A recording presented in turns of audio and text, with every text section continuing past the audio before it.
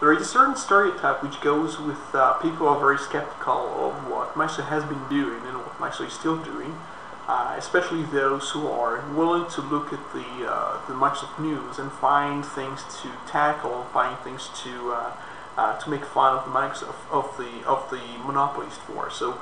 uh, there is different there is a different approach to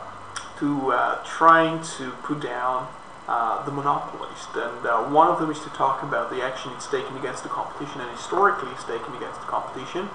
Uh, the other approach is to try and make fun of the competition when it screws up. And some people do a mixture of those things, which, which I suppose is valid to an extent.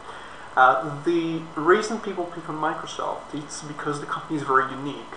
Uh, in its actions against the competition, and not just the free software competition, the GNU slash Linux competition, but